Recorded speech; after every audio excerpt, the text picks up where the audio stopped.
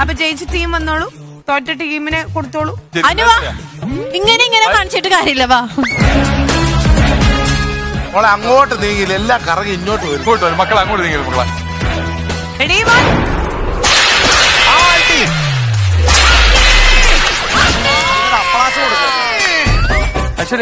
ഇവൾ ഇവൾ തന്നെ മേടിക്കണ എല്ലാം എല്ലാം ഇവളാ. ഞാൻ ഒരു സത്യം പറയട്ടെ. ഞാൻ മനഃപൂർവം തോറ്റത് തന്നെ എന്തിനാ? എല്ലായിടത്തിനും കിട്ടാൻ വേണ്ടിട്ട് ഭയങ്കര അഹങ്കാരം. അതെ ഇത് രാജ്യദ്രോഹമല്ലടാ. സിനിമയിൽ അഭിനയിച്ച്? സ്റ്റാർ മാജിക്കിൽ എനിക്ക് അത്യാവശ്യത്തിണ്ട്. പ്രേക്ഷകർ ഒരുപാട് പേരുണ്ട് ആരാധകരുണ്ട്. ഞാൻ ഇന്നുവരെ അഹങ്കരിച്ചിട്ടുണ്ടാ.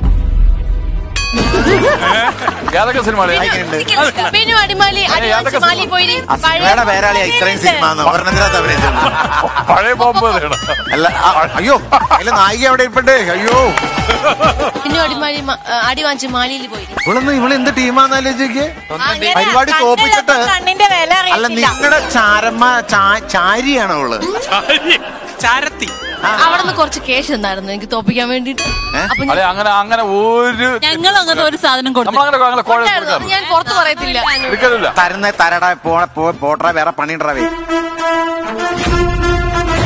അല്ല അസിസ്ക എന്തൊരു ദാ, ഇത് വേറെ ആരും കഴിച്ചു എനിക്ക് എനിക്ക് ഈ സാറ് മതി. കാരണം എനിക്ക് നാട്ടിറങ്ങി നടക്കാൻ പറ്റുന്ന ഒരു അടി കൊടുക്കാൻ വേണ്ടി ആൾക്കാർ ഒരുപാട് പേര് പറഞ്ഞു. അടിച്ചോ. കുറെ നാളായി പെണ്ണുങ്ങളുടെ അടി കൊണ്ടുണ്ട് ഡാൻസ് ക്ലാസ്സിന് വേണ്ടിയിട്ട് ഒരുപാട് പിള്ളേരെ ഞാൻ ഒക്കെ കൊടുത്തു. അതിനുള്ള ശിക്ഷയായിട്ടായിരിക്കും. എന്റെ പിള്ളേരുടെ എന്റെ കെയർഫുൾ എത്ര പിള്ളേര് വന്നു? ഞാൻ എന്റെ പ്രൊമോഷൻ. ഞാൻ പറഞ്ഞല്ലോ ഞാൻ ഭയങ്കര ആരാധകരാണ് ഗെയിം അല്ലേ കുഴപ്പമില്ല നീ ചെയ്തു. നിനക്ക് പ്രത്യുപകാരം നിനക്ക് ചെയ്യാൻ പറഞ്ഞാൽ നീ എന്താ ഹലോ ഹലോ ഹലോ. ഇത് വേണ്ട ആ മൈക്ക് മൈക്കെടുത്തിട്ട് പവർ കോഡ് കൂടി അടി ഓ. ഇതെല്ലാം ശരീരത്ത് കൊണ്ടാ. അടിമാലി. തമിഴ് പണ്ട് ഞാൻ ഇവിടെ ആദ്യമായിട്ട് കാണുന്നത് പത്തൊമ്പത് കാളേനെയും കൊണ്ട് തമിഴ്നാട്ടിൽ നിന്ന് നടന്നു വരുവുള്ളത് വന്നിട്ട് ഇവൾ ചാട്ടയും കൊണ്ട് ഇങ്ങനെ റോട്ടിലിട്ട് ഇങ്ങനെ അടിച്ചു കൊണ്ടുപോകണ ഞാൻ കാണാൻ അപ്പൊ അതിന്റെ ഒരു ഓർമ്മ വന്നതിന്റെ പുറത്താണ് നിലത്തിട്ട് അടിച്ചത്. അടിച്ചു അടിച്ചോ റെഡി വൺ ടു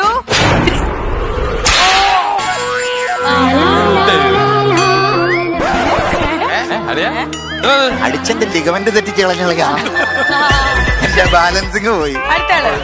ഇനി ഞാൻ ഹാപ്പിയാ. പാപ്പ ആരാ വേണ്ടേ? നിങ്ങൾക്ക് അളിയനാണ്? വേണ്ടേ അളിയനോട് ഞാൻ അളിയ ഞാൻ എത്തിച്ചേരും. ഞാൻ അങ്ങനെ നമ്മളെ പിള്ളേരെ അടിക്കുന്നത് ഞാൻ ദൂരെ നിന്നുള്ളവരായിരിക്കും. ബാംഗ്ലൂർ അല്ലേ ഇവിടെ എന്റെ അടുത്ത് ഒന്ന് പറഞ്ഞറിഞ്ഞ എന്നെ നേരത്തെ അടിച്ചിട്ട്. ചേട്ടാ ഒരു പ്രശ്നമുണ്ട് ചേട്ടാ. ഏട്ടാ, ഞാൻ ഇത്രയും നാൾ അടിച്ചതിലേക്ക് ചേട്ടനെ അടിച്ചത് മാത്രമേ മിസ്സായി പോയി. സത്യം. അപ്പൊ എന്നെ മനഃപൂർവം അടിച്ചു. എന്തോ ഭാഗ്യത്തിന് അത് മിസ്സായി. ജസീല നമ്മൾ പരാജയപ്പെട്ട പട്ടാളക്കാരനാണ്. ആ പക്ഷേ failure is a step for success ആ രീതി വർത്താനം എന്റെ അടുത്ത് പറയരുത്.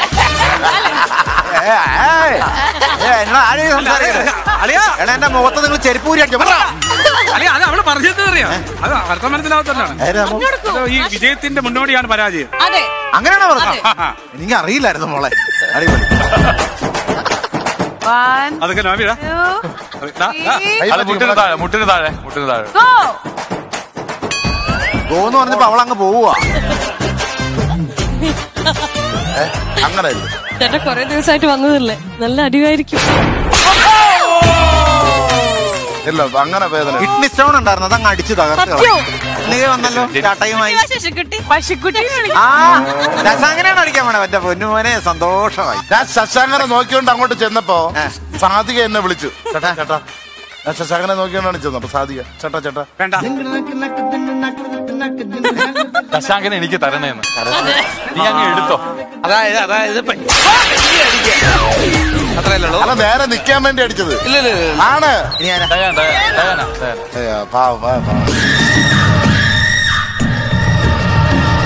ഞാൻ നിങ്ങൾ ചെല്ലട്ടെ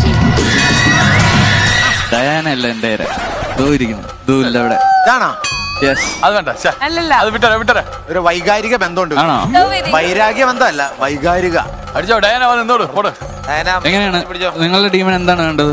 പൊറോട്ട ബീഫ് കിട്ടോ? അല്ല അങ്ങനെയല്ല. വേണമെങ്കിൽ നീ കുറച്ച് ഹിപ്നോട്ടിസം ചെയ്തു എനിക്ക് ഈ ചാട്ട കാണുമ്പോ വേറെ ഡയലോഗ് ഓർമ്മ വരുന്നത്. പറ. പറഞ്ഞോ? ആ.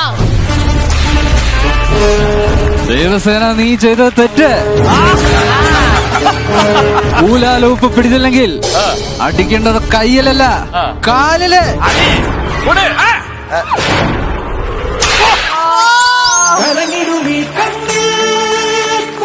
കൊണ്ടാ പാവാടയിലാണല്ലോ അടിച്ചിട്ട് പാവാട ബെർമൂട ആയി പോയി ഗുരുശിക്ഷ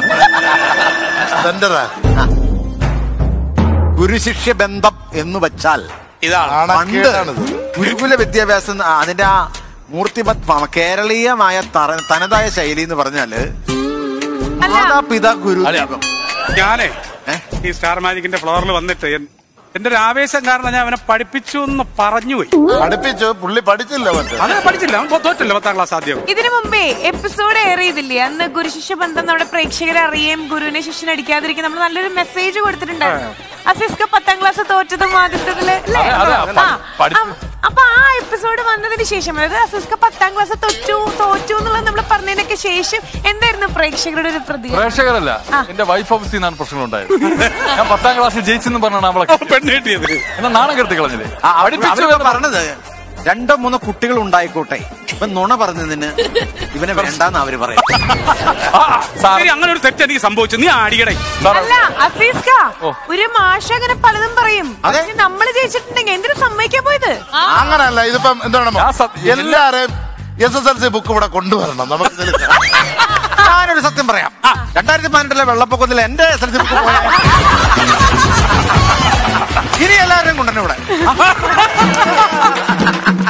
തിരിഞ്ഞു സാർ വേണ്ട ഒരു നീ എന്നെ സാറെന്നു സാർ, ഇവിടെ വിളിക്കണ്ട നേരത്തെ വിളിച്ച അതുപോലെ തന്നെ. ഒരു പോണതോ അറുപത് ഡിഗ്രി സെൽഷ്യസ്.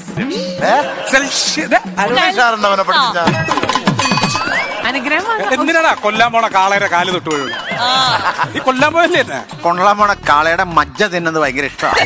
ഇങ്ങനെ മുട്ടിയിട്ട്.